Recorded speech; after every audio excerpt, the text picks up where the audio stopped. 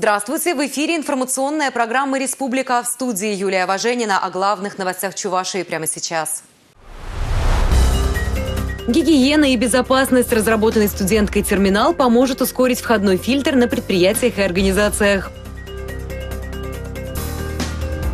Полторы тысячи семей по программе «Устойчивое развитие сельских территорий» молодые семьи могут обзавестись жильем. Три девицы под окном в музее Сеспеля проходят мастер-классы по придению.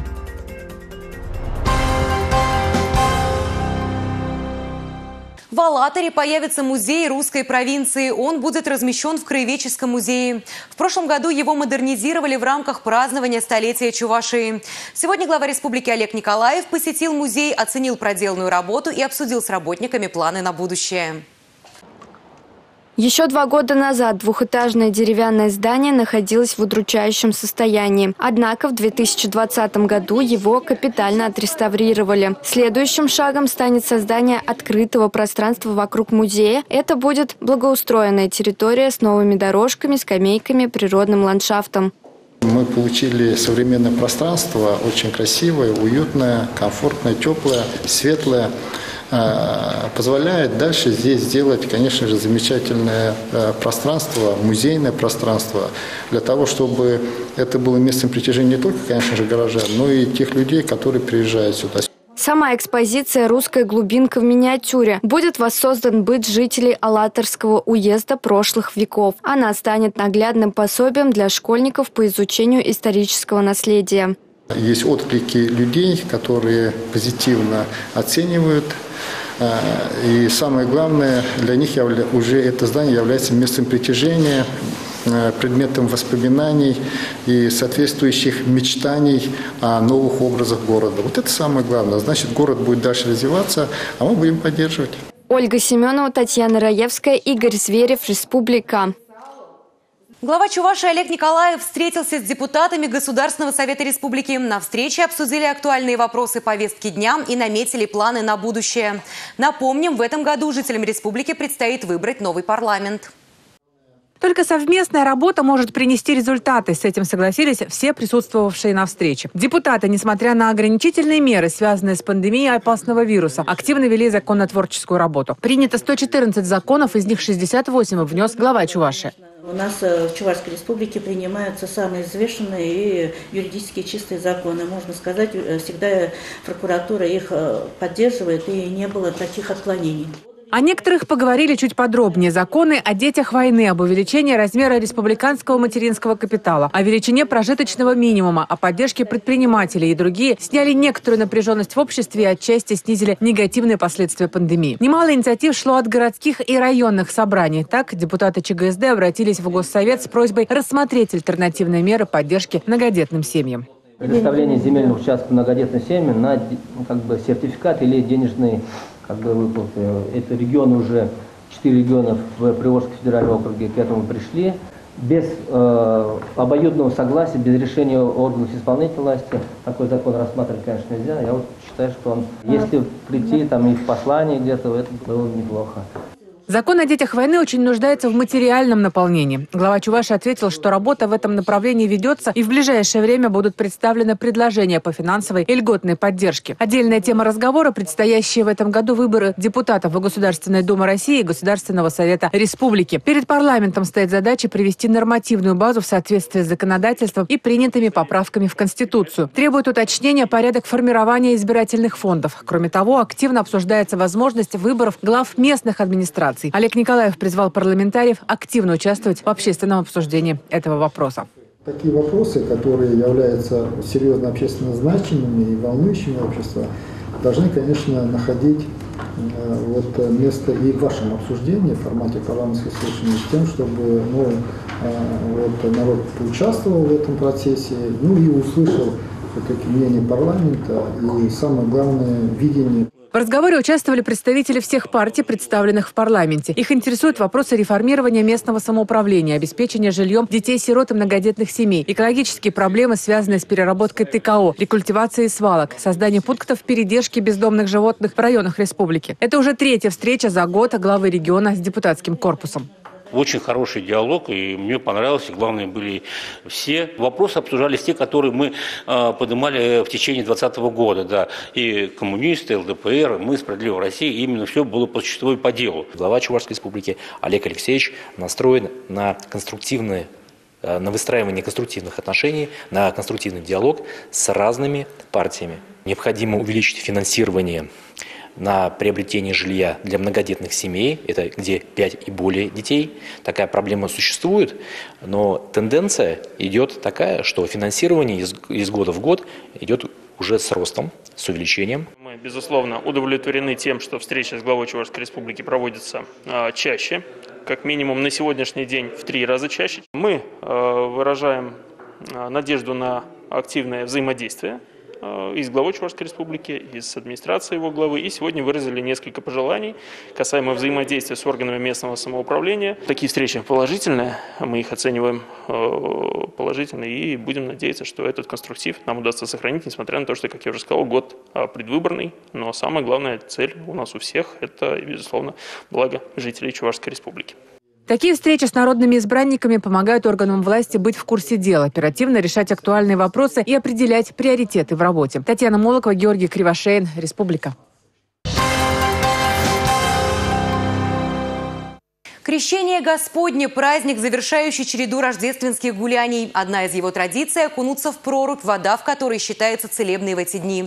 В Чувашии для желающих подготовили 158 купелей.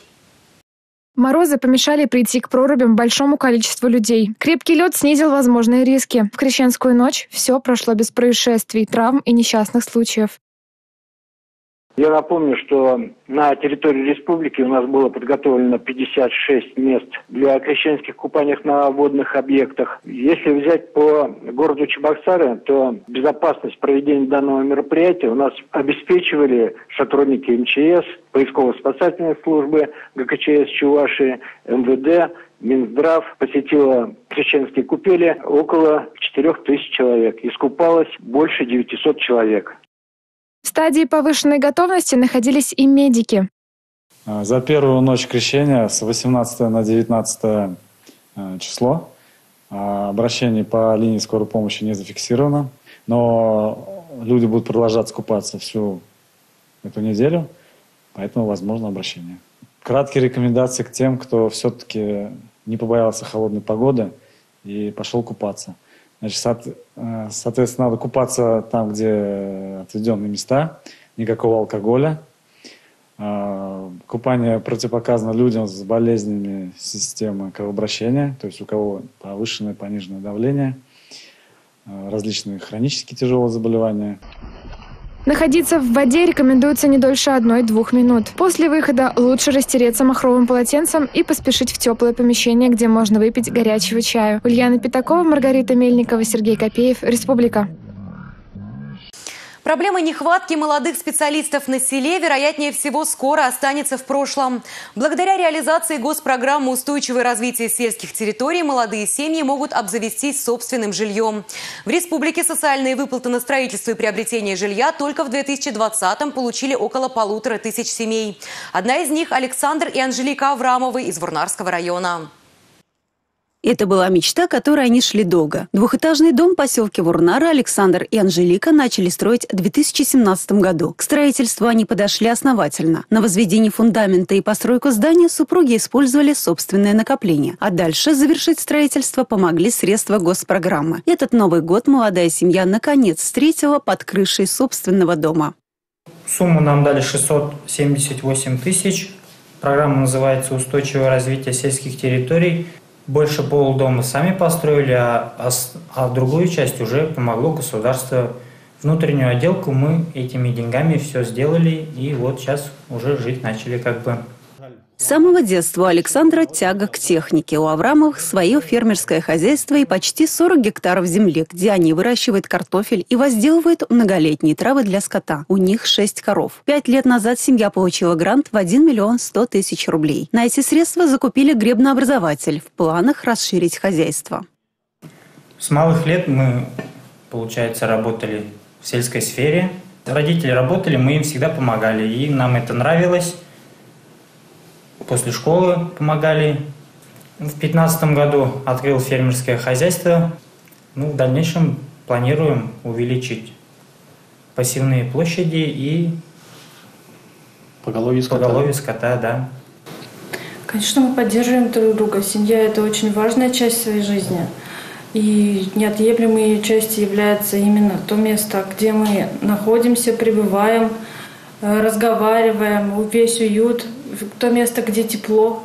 И вот сейчас благодаря поддержке у нас это место есть, Механизм государственной поддержки работает активно, благодаря чему люди могут здесь и сейчас решить многие насущные проблемы. Наталья Мальчикова, Алексей Зотиков, Николай Скворцов, Республика. Поддержка молодых и талантливых всегда была одной из главных задач органов власти. Стали известны имена победителей ежегодного конкурсного отбора на получение специальной стипендии главы Чувашской республики за особую творческую устремленность. Среди них и сотрудники нашей телерадиокомпании.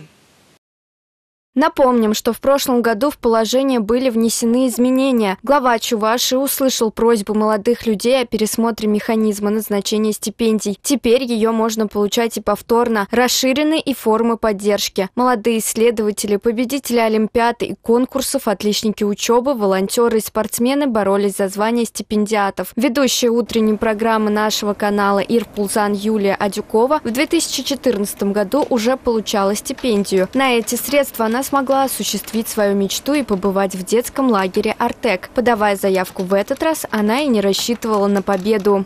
Мои наставники, люди, с которых я беру пример, эту стипендию получали 3-4 раза. И, конечно же, у меня тоже была такая мечта, чтобы я хотя бы второй раз, третий раз а, смогла получить эту стипендию. И эта мечта у меня сбылась, можно сказать. А я, конечно, не буду останавливаться. Буду и в дальнейшем работать на национальном телевидении Чуваши. Надеюсь, и в третий раз, и в четвертый раз у меня сбудется мечта, и я стану стипендиатом. Ведущие национального радио Чувашии Ирина Лампасова и Мария Шагарова также удостоились стипендий главы республики за особую творческую устремленность. Мы организовываем разные встречи, мы придумываем разные проекты, а самое главное, мы растем в профессиональном плане. Я думаю, что это очень круто, что в нашем регионе существует специальная стипендия для яркой и целеустремленной молодежи. Помимо работы, масса свободного времени съедала общественная деятельность, и поэтому я вдвойне благодарна за столь высокую оценку моих стараний. Быть стипендиатом – это не только награда, но и большой стимул идти вперед. Стипендиаты готовят новые интересные проекты. С ними они хотят поучаствовать и во всероссийских конкурсах. Ольга Семенова, Сергей Копеев, Республика. Пять секунд – это много или мало? Чтобы выпить горячий кофе – мало, чтобы приложить карту и пройти в здание – много. Но даже из-за этих секунд на проходных на заводах, вузах и школах могут образоваться очереди, особенно по утрам. Помочь может биометрический терминал с тепловизором. Его разработала первокурсница Чувашского государственного университета имени Ульянова Анна Маслова. Разработанный терминал способен за считанные секунды измерить температуру тела человека, проверить наличие маски на лице, зафиксировать время прибытия в учреждение и разрешить проход на территории при отсутствии признаков болезни. При несоблюдении любого из правил посещения терминал оповещает посетителя голосовым сигналом. Температура тела в норме. Пожалуйста, наденьте маску. Сейчас терминал испытывается на проходной одного из факультетов университета. В дальнейшем его планируется задействовать на всех входных группах зданий, там, где термометрия посетителей очень важна. Уже к концу января еще один терминал планируют установить в одном из общежитий столицы. С начала пандемии я заметила, что при измерении температуры и проверке наличия маски возникают большие очереди, и мне пришла идея создать такой продукт, который облегчил бы эту работу. А как раз в сентябре когда я поступила в Чувашский государственный университет, а, проходил конкурс грантов, и я решила выдвинуть свою идею. А, Чувашский государственный университет поддержал меня в этой идее, и мы начали разработку нашего продукта. Преодолевать сложности в реализации проекта Анне помогал преподаватель Владимир Иванов. Такие устройства уже на самом деле есть. А, тепловизоры давно существуют, сенсорные мониторы тоже есть. Задача стояла все это объединить и создать устройство по цене гораздо дешевле со своим программным обеспечением, над которым студенты э, в течение полугода и работают. Создали образец его внедрили, уже почти два месяца они его тестируют. А, выявлены определенные ошибки, которые исправлены, и идет дальнейшая модернизация этого оборудования. Планах у студентки и преподавателя добавить в биометрический терминал новые функции. Например, пропуск людей по отпечаткам пальцев. Инесса Потапова, Александр Атиков, Республика. В 2020 году работники культуры Мариинско-Посадского района сняли фильм «Реконструкцию строителям безмолвных рубежей». О том, как он снимался в нашем репортаже. Центральная районная библиотека вела работу над созданием электронного издания «Читать, знать, помнить», в раздел которого вошли воспоминания участников строительства оборонительного рубежа на территории Мариинско-Посадского района. Эти люди и стали прототипами героев этого фильма. Драматургией всегда заниматься сложно, Э, сначала мы ищем первоисточники, ищем документы, воспоминания. Главное прочувствовать, о чем мы пишем. Наша задача была провести параллель прошлого и настоящего. Мне кажется, мы этого достигли. Строительство Сурского и Казанского оборонительных рубежей – одна из самых героических страниц в истории Чувашии. Это настоящий подвиг более чем 100 тысяч людей в тылу, который заслуживает особого внимания и изучения. Но еще важнее показать современной молодежи эмоции, душевный порыв, веру и надежду, которыми жили люди в те годы. В фильме я играл председателя колхоза. Вот. Ну, такой, да, строгий дядька серьезный, потому что время было такое, работа была тяжелая. Я хотел будущему молодому поколению передать, что э, вот так жить, как они сейчас живут, ничего, не мечтая ни о чем, ничего не делая, так нельзя. Наши деды даже в трудное время все равно о чем-то мечтали, что-то хотели достичь, добиться. И они до этого добивались и делали это, да, неимоверными усилиями, да, тяжелым трудом, но они это делали.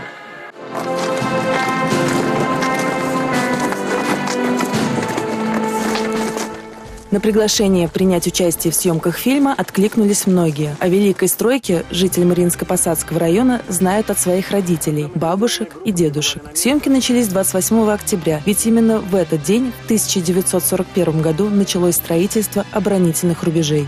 Мы приехали с утра в село Покровское, в Карабашское сельское поселение, там, где проходит Казанско-Сурский рубеж осмотрелись, выбрали места, пока люди у нас переодевались в костюмы по моде военных сороковых, так скажем.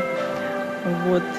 И материал мы отсняли буквально за 5-6 часов. Сложность была в том, что надо окунуться в 41 год, а в селе Покровское, хоть оно и небольшое село, все-таки есть какая-то современная инфраструктура. То магазин в кадр попадет, то дорожные знаки. 25 января, в день завершения строительства оборонительных сооружений, в Мариинско-Посадском районе пройдет культурно-образовательная акция. Во всех домах культуры, библиотеках и образовательных учреждениях будет организован показ фильма «Реконструкции. Строителям безмолвных рубежей». Екатерина Шеверова, Алексей Зотиков, Сергей Копеев, Республика. Возвращение шедевров. Выставка с таким названием открылась в стенах Чувашского государственного художественного музея. Подробнее об этом в следующем сюжете.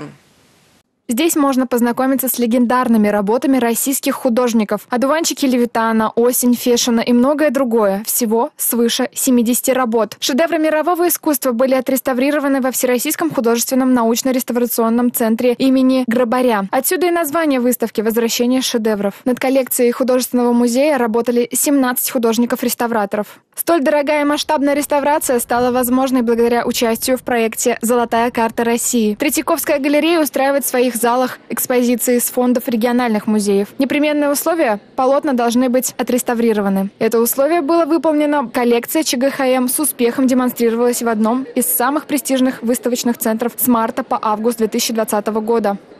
Произведения на данную выставку были отобраны заведующей экспозиционным отделом Третьяковской галереи Дивовой Ниной Глебовной. А, акцент был сделан на произведения русского реалистического искусства, рубежные произведения так называемые, и э, представители а, изобразительного искусства из нашей республики, выпускники Академии художеств, которые тоже как-то вписывались в ее концепцию. Вот, э, в числе 74 авторов есть наших два художника. Это Кокель Алексей Афанасьевич и Никита э, Кузьмич Сверчков. Если сравнивать э, значит, картины то, что были еще в 80-х годах прошлого века, в 90-х и так далее. А разница есть. Можно увидеть, э, значит, новые светлые мазки, краски, как, э, ну, живые картины обновленные, это естественно. А тогда мы ходили, глядели, картины были уже тогда, были в таком состоянии, что потрескалась верхний слой краски и так далее. После двухлетней разлуки горожане наконец смогут увидеть любимое произведение. Выставка продлится до 24 января. Ульяна Пятакова, Татьяна Раевская, Игорь Зверев, Республика. Имя Михаила Васильева известно не только в Чувашии, но и в России и за рубежом. Этот человек притягивает к себе разные предметы. Моя коллега Наталья Мальчикова пообщалась с единственным в своем роде человеком-магнитом, чье имя занесено в Книгу рекордов Гиннесса. Обычный человек с необычными способностями. Михаил заметил эту странность своего организма, как он говорит, еще в возрасте Христа. Поначалу притягивались мелкие предметы, но чем дальше, тем больше. Это мел 43. Сегодня при собственном весе в 55 килограммов он удерживает грудью мраморную, гранитную плиту и даже целую конструкцию общим весом более 100 килограмм. Как это происходит, не объяснить даже с помощью законов физики. Просто положить Да, да, и да. при- Всё, всё, придержать? да, да. Как они держатся? Это просто удивительно. Как это происходит? Ответ на этот вопрос искали ученые и врачи, но разгадать загадку так и не смогли. Сам же человек-магнит считает, что все это пришло к нему свыше. В разные годы Михаил активно участвовал во всевозможных шоу талантов по всему миру.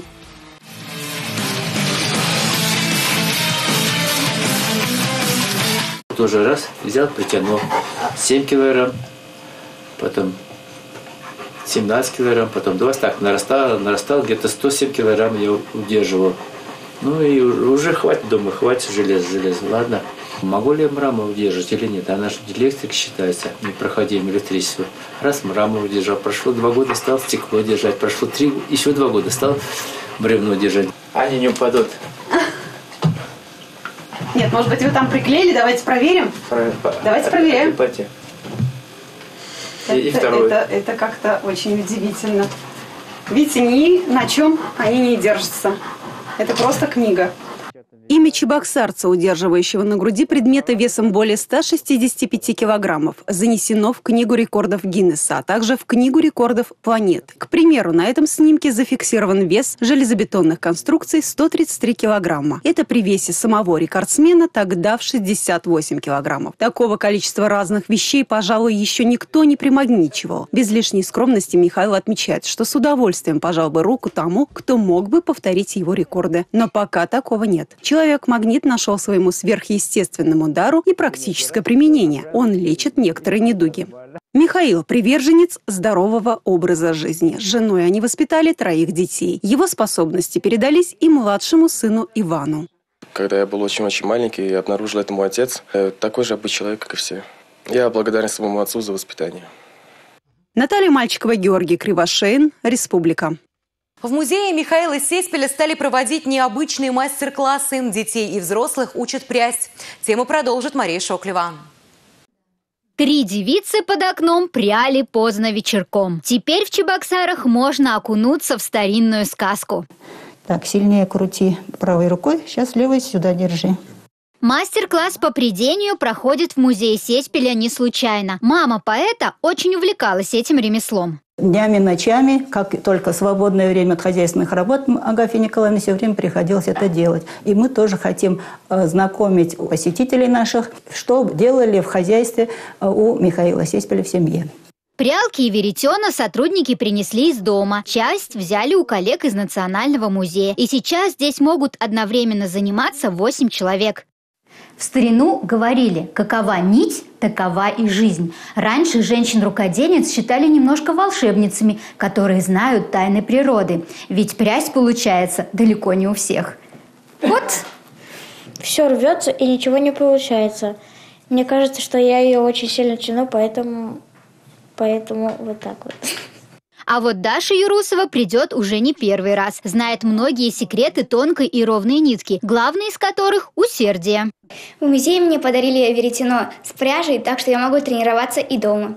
Вечером, когда сделала все уроки, сажусь, и процесс прямо завлекает. То, что научилась прясть, мне даже это помогает иногда вот ночами привести свои мысли в порядок. До 4 утра иногда не получается остановиться. Все мысли уже в порядке, на своих полках, и в голове чисто. Скоро в музее Сеспеля появится еще один мастер-класс. Здесь будут учить вязать. Мария Шоклева, Павел Иридков, Республика. Это были главные новости вторника, 19 января. А я с вами прощаюсь. До завтра.